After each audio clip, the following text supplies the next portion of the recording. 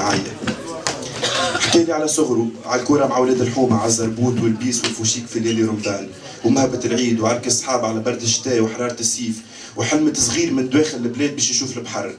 على أول نهار عام فيه على رشة ساقيك مست الماء وهو في العشرين.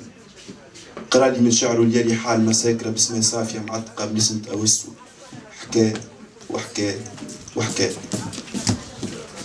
كل شيء يستفزني الليلة. أشعر أنني قد كتبت أخيرا شيئا مدهشا لن أمزقه كالعادة فما أوجع هذه الصدفة التي تعود بي بعد كل هذه السنوات إلى هنا للمكان نفسه لأجد جثة من أحبهم في انتظاري بتوقيت الذاكرة الأولى يستيقظ الماضي الليل في داخلي مربكا يستدرجني إلى دهاليز الذاكرة أحاول أن أقاومه ولكن هل يمكن لي أن أقاومه؟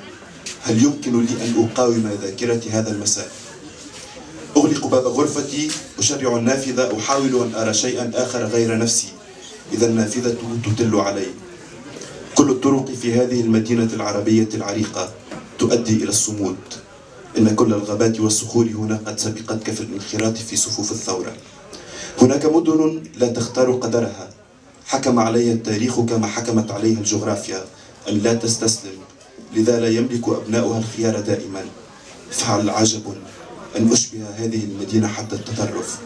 هل عجب أن يشبهها هو أيضا؟ الخميس 16 ديسمبر 2010 سهرية صباحي شيء ما كان يوحي أنه ثم حاجة تجو تتبدل. تعشينا سهرنا ضحكنا حكينا حكايات الليل لليل. شعرنا قلنا كما حد ما قال غنينا لجوء الصباح من أنا توب عن حبك أنا لي شهيد. ليرة ما تتنساش الفم محلول تقيم ما قبل كانت تقول يعطينا خير الضحك. يسترنا من اللي جاي. كل ضحكة وراها دمعة وكل دمعة نازلة تريق للوجيعة ثمة الجرعة.